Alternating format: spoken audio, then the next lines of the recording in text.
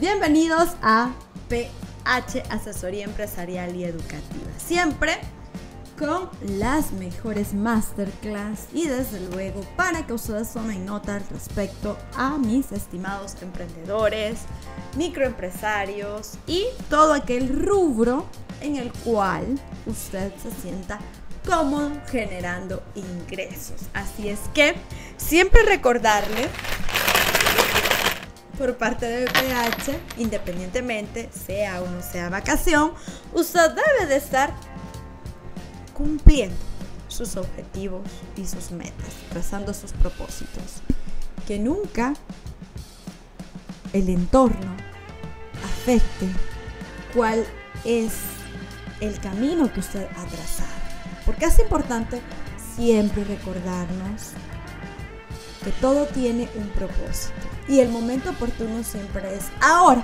Si usted todavía no ha definido, pero hay que comenzar. Nunca es tarde. Así es que tenemos por acá una masterclass muy importante el día de ahora. Pero por favor antes, suscríbase.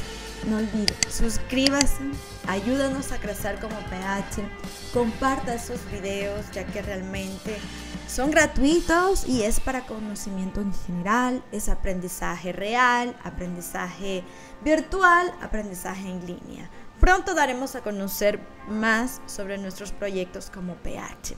Así es que tenemos por acá este tema muy importante que se llama los 10 hábitos del emprendedor, ya sean vacaciones o no vacaciones. Primer hábito ofrezca sentido y no deseo. Este hábito es importante ya que, ya que a través de su producto o servicio usted debe de generar, y lo hemos dicho constantemente, debe de generar sensaciones, sentimientos. Por ejemplo, ¿qué vende usted?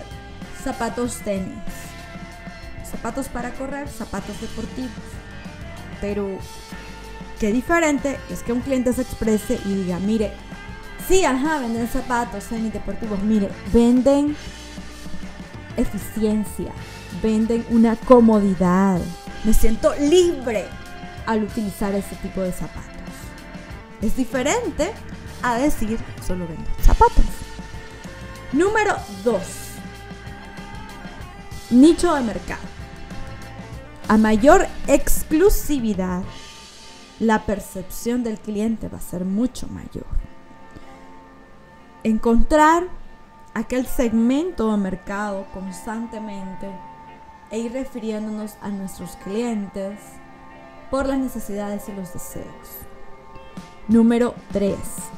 Renovarse constantemente. En algunas de las entrevistas que hemos hecho con los emprendedores, hay siempre una pregunta que yo hago y es, ¿qué hace en su tiempo libre? ¿A qué dedica aquel tiempo? Le llamamos de ocio, es decir, aquel tiempo que queda libre para poder tomar decisiones. Y la mayoría, el 100% dice, estoy en una constante reingeniería.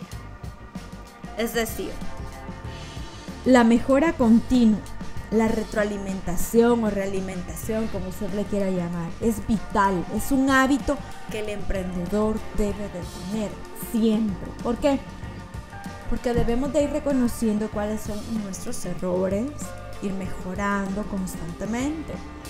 Claro, la crítica constructiva es importante en este sentido, sea de quien sea, sea de un familiar, sea de un cliente, eso nos va a ayudar a mejorar.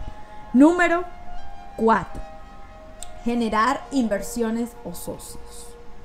Es indispensable prestar mucha atención a las alianzas estratégicas. Usted debe de tener en mente su modelo de negocio en el cual en 20 minutos usted debe de exponer lo que es su empresa.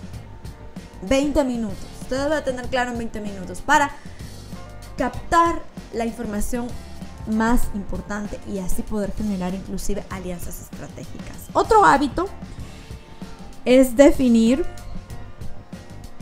cuál es realmente el espíritu de la empresa, aquella esencia, el alma de su empresa. Es decir, en este sentido, nosotros le llamamos la misión.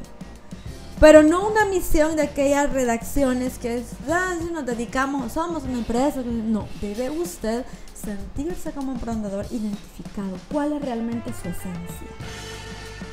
¿Por qué está realmente su mercado? Ese hábito debe de tenerlo constantemente. Saber cuál es la razón de ser de su microempresa. Otro hábito que también debe de tener, el número 6, es innovar. Salir de lo común. Ya hablábamos de la reingeniería, ok, ¿qué significa estar innovando? Es estar a la, a la vanguardia con la tecnología, con todos aquellos elementos externos que nos van a ayudar, desde luego, a mejorar todos nuestros procesos de ventas, de compras y toda aquella gama de alternativas que nosotros podemos tener para mejorar nuestros productos y nuestros servicios. Número 7. Ofrezca algo funcional. Ese es un hábito. Porque cuando nosotros estamos ofertando algo en lo que no creemos, muy difícilmente vamos a lograr venderlo. Así es que esto va a lograr que podamos diferenciar. Número 8. La perfección no en la primera. Se escucha raro. Perfección, pero no en la primera. Puede ser en la segunda, en la tercera, en la cuarta, en la quinta. Usted sabrá cómo va a ir perfeccionando su producto su servicio. ¿Vale equivocarse? Desde luego. Por eso estamos en constante aprendizaje. Por ahí dice el dicho que la única constante es el cambio. En efecto, así es. Vamos a estar nosotros mejorando día con día, constantemente, y ese es un hábito. Así es que no hay que frustrarnos si a la primera no nos salió algo perfecto. Por eso tenemos la mejora continua. Y eso es de los hábitos que hemos estado mencionando. Número 9. Sea feliz. Así de simple sencillo. Es un hábito. Sea feliz. Cualquier acto, cualquier acción, cualquier suceso, cualquier acontecimiento, usted debe de tomarlo como una fortaleza, como un proceso de aprendizaje. Sea feliz transmita paz, transmite felicidad. Es lo mejor que puede tener un emprendedor o un microempresario o un empresario. Y número 10, sea autodidacta. Es decir, por muchos talleres, por muchas capacitaciones.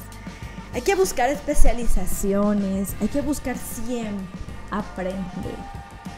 Si hay algo que no está en el mercado local, a nivel de educación, puede ser que la virtualidad, la digitalización, hace que nosotros trascendamos fronteras. Así es que podemos buscar otras alternativas para poder fomentar nuestro propio aprendizaje, nuestros propios conocimientos y que este lógicamente se traduce en valor agregado, porque esta es la receta mágica, es otro detalle que nos va a hacer como empresarios marcar un objetivo. Así es que tengamos en cuenta todos estos hábitos que van a marcar nuestro modelo de negocios. No olviden por favor suscribirse, activar la campanita para las notificaciones para que estos videos siempre ustedes llegue inmediatamente, se publique, compartirlo desde luego. Su like es indispensable y sobre todo comentar si usted desea algún tema en particular o escribirnos en nuestras redes. Dejo por acá nuestras redes también. Si ustedes quieren un taller un poco más especializado, ustedes necesitan una asesoría más personalizada, PH está a disposición. Recuerden, el diagnóstico es totalmente gratuito, así es que hay que aprovechar parte también de esas promociones que cuenta PH. Así es que nos vemos en la próxima transmisión. Saludos.